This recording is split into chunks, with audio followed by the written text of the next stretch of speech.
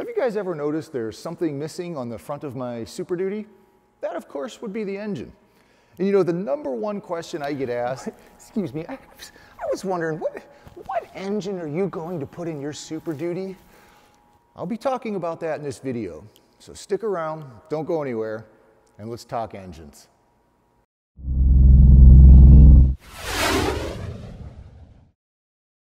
You know, that really is the number one question I get. People have asked me in the comment section, they've asked me in email, and this last year at the Zenith fly-in, almost every single person that came up to me from the channel and introduced themselves, the first question they asked was, what engine am I going to install in the Super Duty? And honestly, I've known for a long time what engine I'm going to install, but I've never really answered those questions, at least uh, on the, the comment section in public, because I know how the internet is and I know how people defend the engine choice that they made. So if I say I'm going with brand A, people will type in the comment section, why do you hate brand B? And I don't hate brand B. I think every engine out there offers something. But I did make a choice a long time ago, and since, since so many people are asking, uh, and I need to order my engine very soon, I might as well tell you what I'm going to install in my Super Duty. All right, so let's start off with the list I made a while ago of requirements that I had and what I was looking for in an engine. And I think I've said this before, I kind of want this airplane as close to certified as I can. Um, just meaning, uh, you know, it's an experimental airplane, but I don't really want to be experimenting. I'm not an engine guy. I don't want some sort of experimental engine in there. I don't want an auto engine. I don't want gearboxes. I want something that's been tried and true, a 100,000 times that I can bolt in my airplane and feel confident in it. Especially, like I said, because I'm not an engine guy, I don't really know how to work on engines. Um, I just don't want to be tinkering with cooling systems and gearboxes and things like that. Now, one of the other requirements I had is I wanted an engine from a reputable company that's been around for a long time and that I can feel fairly confident that it will be around for a long time in the future, just in case I ever need some support or parts or something like that.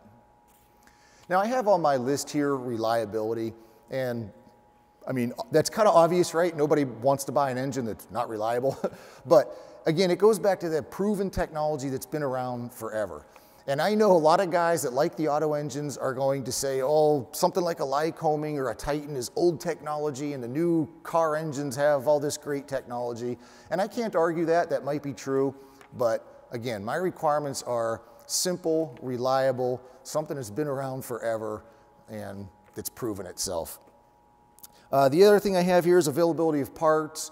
Um, and that kind of goes with some of these other things like I want an engine that any mechanic can work on because, you know, obviously this is the Super Duty, it's an off airport airplane.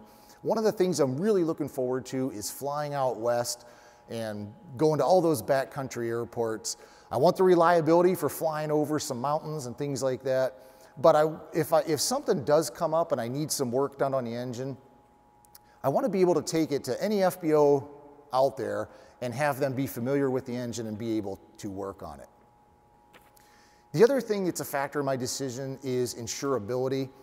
I, uh, I don't want to sound like I'm talking bad about auto engines, but I know people that have auto engines in their airplanes and had a very hard time getting insurance for them. And then something like a Lycoming, which is what I'm putting in my airplane, is easily insurable. The insurance companies are very well familiar with them, and I should have no issues at all with a known airframe like the Zenith with a known engine like the Lycoming. Now, if you guys aren't that familiar with Lycoming, they have a line of engines called Thunderbolt. And the Thunderbolt engines are the hand-built custom engines for experimental aircraft. Let's look at the Lycoming website and take a look. Well, the first thing we can do is go to lycoming.com, and this is their website here. You noticed on the top they have two tabs here products, which we'll take a look at in just a second, and company. And the company has some pretty neat links here. The history of Lycoming, the factory, some distinctions, tours, and the, the, people that work there. And it's pretty interesting if you want to get familiar with the company. But if we go to the products page, we can go to Thunderbolt Engines. And as you can see, the Thunderbolt engines are Lycoming's brand of high performance, built to order power plants for experimental aircraft. Here's some of the benefits down here of the the uh, th- the Thunderbolt engines. This is the one that, that I really like here. The, the balanced rotating system within a half a gram. I was talking talking to Jeff Scons at the Zenith uh, Fly-In about this, and uh, it's just really impressive when you have an engine that's that finely balanced. It runs a lot smoother, which means less vibration. And in an airplane as slow as a Super Duty, I'm going to be spending a lot of time in cruise flight, just getting out into the back country. And if I can spend that time behind a quiet, smooth running engine with less vibration, that would be awesome. the other thing that's neat here is uh, customized paint options. And one of the things I envisioned for mine with the paint scheme and everything I'm doing on my Super Duty is I really want my engine black with chrome um, valve covers here. I just think it would look really good. That's what my Pitts has. I think the Pitts might be gray, but it has the chrome uh, valve covers, and it looks really nice. I think that would look really cool on the Super Duty. Then if you go to Thunderbolt Engine Builder here, you can go to Start Building, and it puts together some options here. Now there are different options for the Thunderbolt engines, and this is what I want to talk about next because I'm trying to decide between one of two engines. When I was at the Zenith Fly-In this summer, and Lycoming had the representative there, Jeff, uh, I picked up two brochures from him, and one of them is for the IO360, and the other one is for the IO390. Now, the difference basically between these is 180 horsepower versus 210 horsepower. Now, obviously, more power is more better, right? Everybody wants more power, but of course there's trade-offs. The O-390 is more expensive, and the higher the power, the more the fuel burn you're gonna have. And the more fuel burn you have, the less distance you can go on a given amount of fuel, which means if I'm trying to get far out into the backcountry, if I'm burning more fuel per hour, I can't go quite as far. But I really don't know which one I want, the IO360 or the 390. You know, here's my thought on power and I'm making up numbers here, but let's say the 360 is 180 horse, and I'm out in Idaho and it's a hot summer day and we have a real high density altitude. Let's say that engine and propeller combination is only producing, let's say, 160 horsepower. Well, now I'm down to 160, but if I start with 210, and let's say I lose 20 horsepower because of the high density altitude, now I'm down to 190. So I still have more power, um, starting off obviously with more power. so I'm not sure if I want to go with the 210 horse and spend the extra money and fuel burn for the IO 390 or settle for 180 horse and go with the IO 360. What would you guys do? Seriously, leave a comment below. Let me know what you would do if this was your setup. Now I have these two brochures from Lycoming laid out here, and let's take a look at some of the info on here. All right, if we look at the spec sheet for the IO360, you can see there's a lot of different engines listed on here. The top half of the page is the O360, so that's the carbureted, ver carbureted version. And of course, I would want the fuel injected version. And we have, I guess, three different ones here that technically would work. We have an A, B, and an M. And you can see a little bit of the differences in these. The A and B, it's 200 horse versus 180. Then we come down here to M, and that's back to 180. Um, but let's look at the A versus the B. With the A model being 324 pounds to 335 pounds, that's for a 200 horse IO360. But if we look at the IO390A, we can see that that is also, or that's 210 horsepower, but look at the weight, it's only 307 pounds.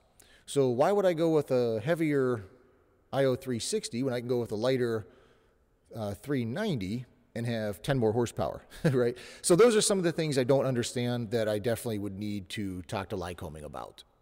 Now let's head back to the Lycoming website because there are some other options we need to look at when selecting an engine. And let's look at the IO390 because that's the one I'm leaning towards. But again, guys, really, leave a comment below and let me know which one you would choose. All right, we're on the Thunderbolt engine page here. I'm going to click on the Thunderbolt engine builder, and then I'm going to click on start building. Now, of course, we have our different engines here. I'm going to, to go with the 390 for now, and we'll hit the little arrow here to continue. So the page that comes up here is the colors you can choose from. They have black, gray, and red. I'm sure there's probably more custom colors if you really wanted it, but I think I would go with black with the, the chrome valve covers. And then we can go up here to engine options. And this is kind of where, you know, I have to do a lot more research and talk to some knowledgeable people at Lycoming because we have fuel injection system. You select which one you want, the Airflow Performance or the Avstar. And although I did Google these and look at their web pages to try to educate myself a little bit, I really don't know what the difference is between them or which one's better or which one might fit my needs more. And then they have ignition system here, the traditional ignition system, which I, I'm assuming is just the, the magnetos. Then you have the electronic system here. And then of course there's different things you can do with uh, you know, one mag and one electronic or things like that. So again, I need to talk to somebody that's, that's a lot more knowledgeable than I am. And that's why I said I'd really like to drive out to Lycoming and sit down and talk to the experts there. Well, there you have it, guys. That is my choice of engine for the Super Duty.